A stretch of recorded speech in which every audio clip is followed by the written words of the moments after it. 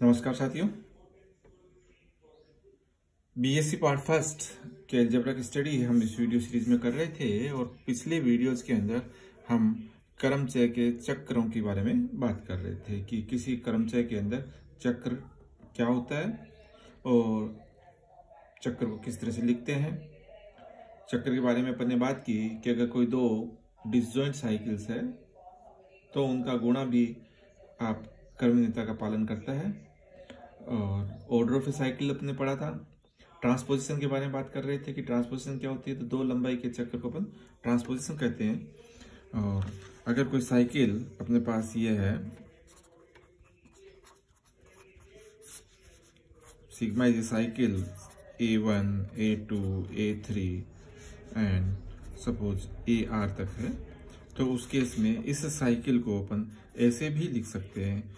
A one a r a one a r minus one a one a r minus two और इस तरह से चलते चलते a one a three a one a two तो यहाँ जितने अवयव हैं, ये अगर आर है तो आपके पास आर माइनस वन पक्षांतरण प्राप्त हो जाते हैं। यहाँ पर इसकी जो लेंथ है वो आर लंबाई है। का चक्र है। तो ये जो संख्या है, ये आर माइनस वन पक्षांतरण प्राप्त होते हैं। तो अब इसके बाद के अंदर हमारे पास एक और डेफिनेशन आएगी even and odd permutations even and odd permutation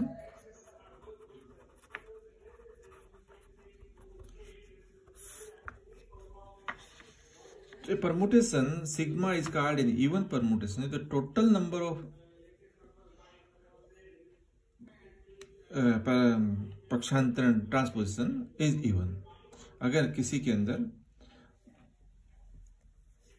पक्षांतरों की संख्या सम है तो वो सम क्रम से कहलाएगा। और पक्षांतरों की संख्या अगर विषम है तो उस केस के अंदर वो विषम क्रम से कहलाता है। तो सम क्रम से में आएगा।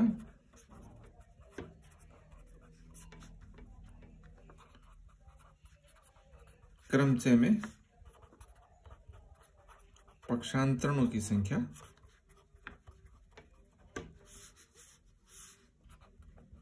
सम होगी। और विषम क्रम से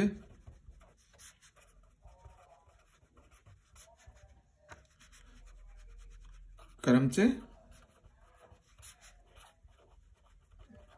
जिसमें पक्षांतरणों की संख्या, पक्षांतरण मीन्स ट्रांसपोजिशन वो सारे के सारे चक्कर जिनकी लंबाई दो है, विषम हो तो उनको अपन विषम क्रम से कह लेते हैं। अब, अगर आपके पास सात लंबाई का चक्कर है तो सात लंबाई का चक्कर का मतलब यदि ए वन ए टू और ए सेवन तक है मेरे पास sigma this length is seven इसका मतलब ये समक्रम से होगा।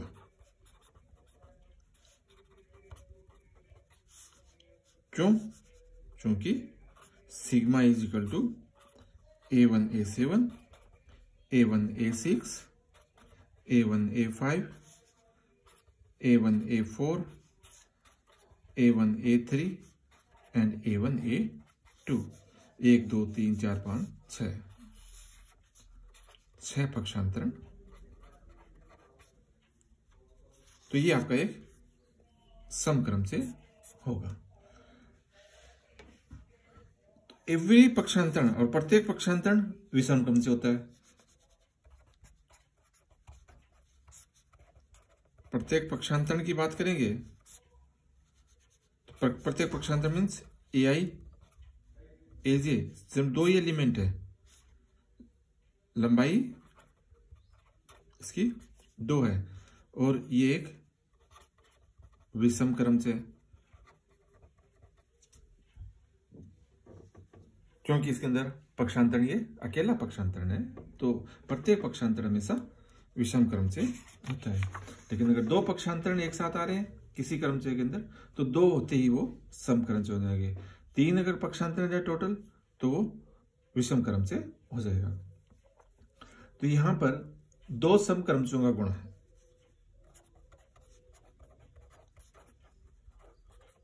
दो समक्रमचों का गुणा हमेशा समक्रम से रहेगा। दो विषम क्रमचों का गुणा, भी समक्रम से होगा एक सम तथा एक विषम क्रम अगर है,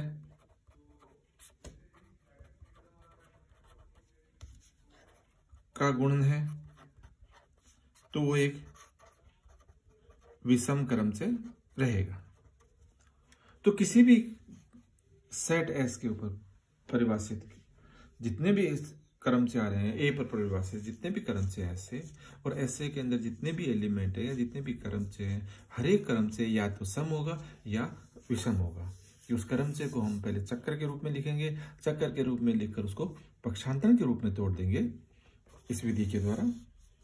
और जितने नंबर ऑफ़ पक्षांतरण आ रहे हैं, अगर सम संख्या में पक्षांतरण आ रहे हैं तो सम क्रम से हो जाएगा, विषम संख्या में पक्षांतरण है तो विषम क्रम से हो जाएगा। आज अपने इंपॉर्टेंट फॉर्म्स करते हैं इसके ऊपर।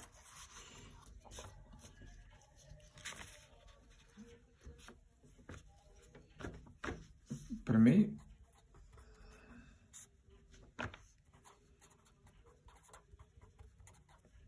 एन असांक के सभी समक्रम से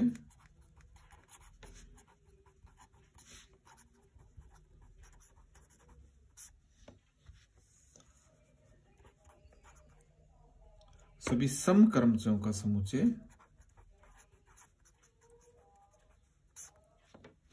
ए एन। कर्म से गुणन संक्रिया के लिए।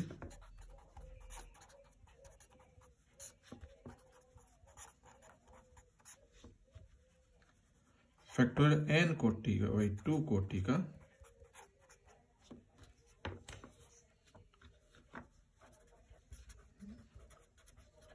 समूह होता है।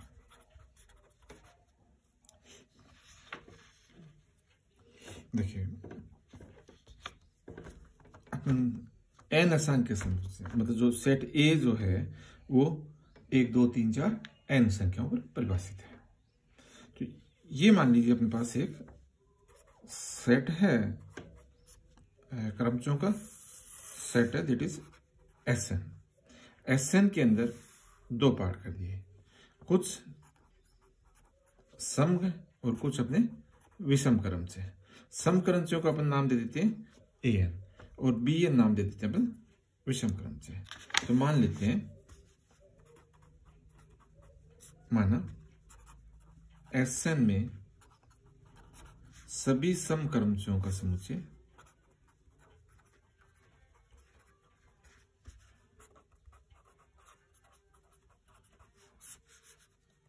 ए एन कुछ इस तरह से एल्फा वन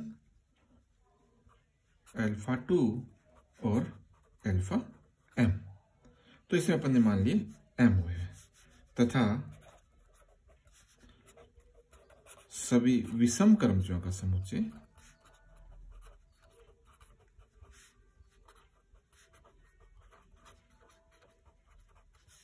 का नाम दे देते अपन। बी एन और इसमें मान लेते हैं कि beta one, beta two and beta r तो इसका मतलब यहाँ पर आ गया order of A n is equal to m तथा order of B n is equal to r and order of A n plus order of B n is equal to होगा factorial N ये अपन को पता है। इस total क्रम से कितने होते हैं? तो एस एन एक से लेकर एन तक की संख्या और बनने वाले सभी क्रम से हैं तो टोटल फैक्टोरियल एन क्रम से बनेंगे। तो ये टोटल फैक्टोरियल एन के बराबर रहा। अब हमें यह सिद्ध करना है। स्कोर देखते हैं क्या क्या सिद्ध करना है। ए एन एक समूह है, दूसरा order of A n is equal to factorial n by तो ये दो चीज़ें अपन को यहाँ सिद्ध करना है। तो ए एन समूह है। सबसे पहले ये करते हैं। चलिए स्टेप फ़र्स्ट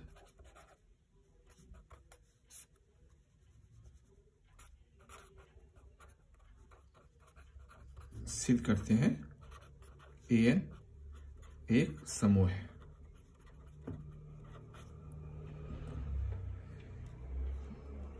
तो सबसे पहले जीवन, साचर्यता, कर्म से गुणन,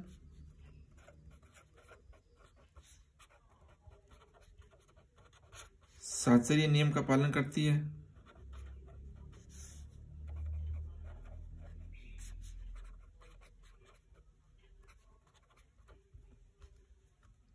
अतः एन में भी। साचरिता लागू है। दूसरा लेते हैं। ए एन में भी साचरिता लागू रहेगी। अब जिस एन की बात कर रहे हैं अपन तो अपना ये एन है। समकरणों का सेट है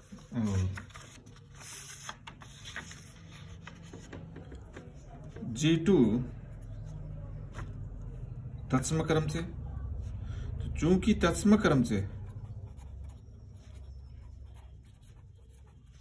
एक सम क्रम से होता है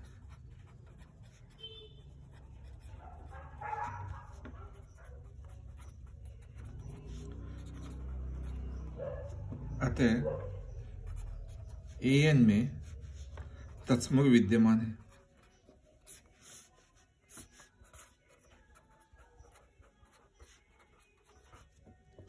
जी थ्री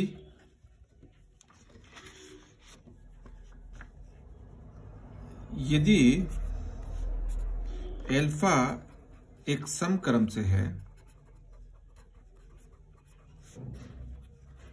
तो एल्फा इनवर्स भी एक समक्रम से होगा।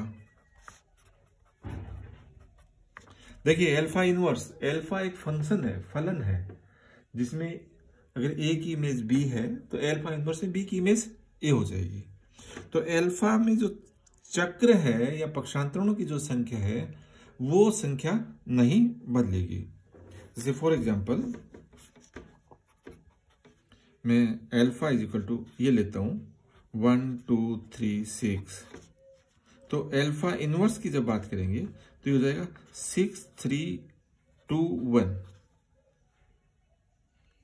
तो यहाँ पर जो पक्षांतरण है, उनकी संख्या नहीं बदलती इनवर्स करने से। तो इसलिए अगर एल्फा में समक्रम से है तो एल्फा इनवर्स भी एक समक्रम से होगा। इसका मतलब समक्रमचों का समुच्चय और दो समक्रमचों का गुणन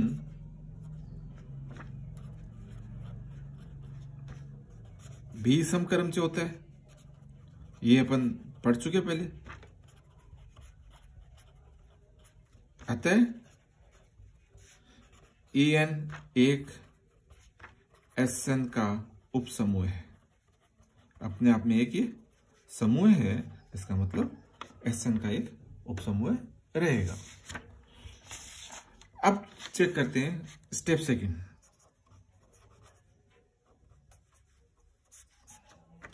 order of A n is equal to factorial n by two ये प्रूव है।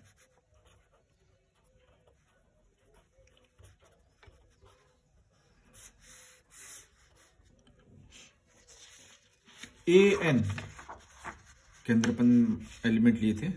माना,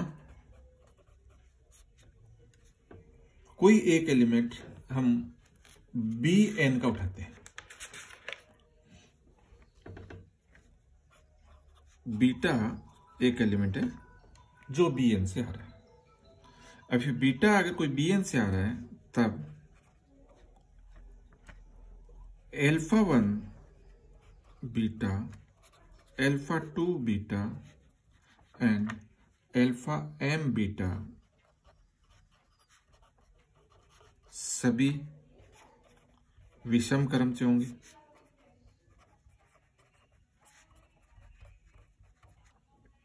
क्योंकि आपके पास जो ए एन है, वो अपन इस तरह से लिखा था एल्फा वन एल्फा टू और एल्फा एम ये अपना ए एम था। तो इस बीटा को इनके सब पर गुणा कर दिया तो ये सारे के सारे अपने पास विषम क्रम से आ गए। और ये सारे के सारे विषम क्रम से हैं, जहाँ alpha i beta is not equal to alpha j beta यदि alpha i beta is equal to alpha j beta है, तब alpha i is equal to alpha j होगा। ये हम मान रहे हैं कि सभी भिन्न भिन्न क्रम से भिन्न भिन्न अवयव है। तो अगर एल इनको बराबर मान लें किन्हीं को तो एल फाइव के दो एलिमेंट बराबर हो जाएँगे। इसका मतलब ये सारे के सारे अलग अलग है। तो यहाँ ये आपके पास this implies alpha one beta alpha two beta और एल्फा एम बीटा सभी भिन्न भिन्न, अलग अलग है। विषम क्रम से। परंतु विषम क्रमचों का समुच्चय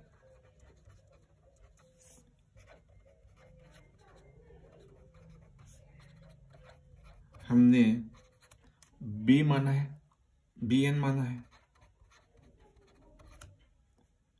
दिस इंप्लाइज ये सारे के सारे अवयव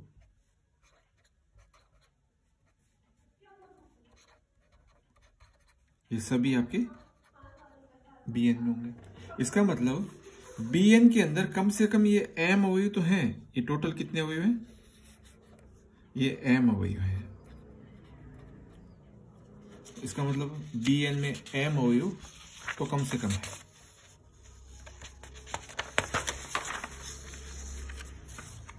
दिस इंप्लाइज बी एन में एम से अधिक या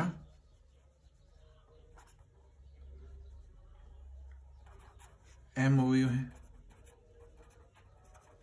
कहने का मतलब ये एम जो है, ये जो बी एन के अंदर अवयव माने थे आर ये एम इस आर से छोटे होंगे। क्योंकि बी एन के अंदर जो टोटल नंबर ऑफ़ एलिमेंट माने थे, हमने माने थे कि इसके अंदर टोटल आर अवयव है। टोटल आर अवयव, अब हम कह रहे हैं कि ये एम अवयव भी इसमें है। तो इसका मतलब ये आर अवयव उन एम से अधिक होगा। पुनः लेते हैं अपन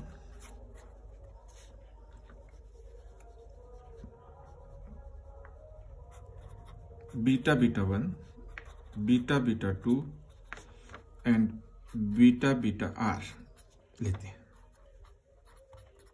अब एल्फा की जगह बीटा ले लिए दो विषम क्रमचों का गुणा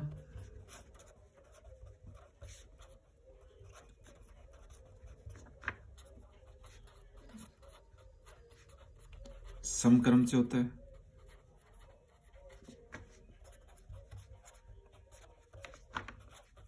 तथा यहाँ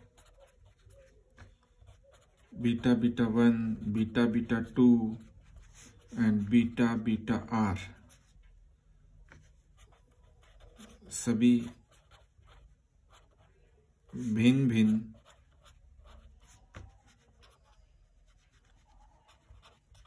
कर्म से हैं और कर्म से भी कौन से?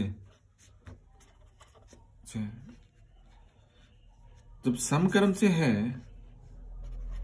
अतः ये beta beta one, beta beta two, ये जो कर्म से बने अपने पास, बीटा बीटा आर, ये सारे के सारे आपके ए एन में होंगे। और अगर ये ए एन में है, इसका मतलब ये आर है। अवयव है। तो ये जो आर का मान है, इसमें टोटल नंबर ऑफ़ अवयवों से छोटा होगा। तो एक बार हम कह रहे हैं कि m is less than r एक बार हम कह रहे हैं कि r is less than m तो एक व दो से। और मैं ये नहीं कहूँ कि m is less than equal to r और यहाँ पर भी r is less than equal to m कहूँगा। तो एक व दो से एम बराबर आर इसका मतलब order of an is equal to order of bn and this is, this implies order of an is equal to factorial n by 2 क्योंकि दोनों का ऑर्डर बराबर है और दोनों का टोटल ऑर्डर फैक्टर एन के बराबर होता है, इसलिए ऑर्डर ऑफ़ एन आपका फैक्टर एन बाई टू रहेगा। तो एस एन के अंदर जो सम कर्मचारियों की संख्या है, वो फैक्टोरियल एन बाई टू रहेगी। अगर मैं एस फोर में बात करूँ तो एस फोर के अंदर order of S four is factorial चार दैट इज़ चार तीन बारह बढ़वा चौबीस order of A four will be बारह and order of B four will be twelve ये इनके आधे रहेंगे। Thank you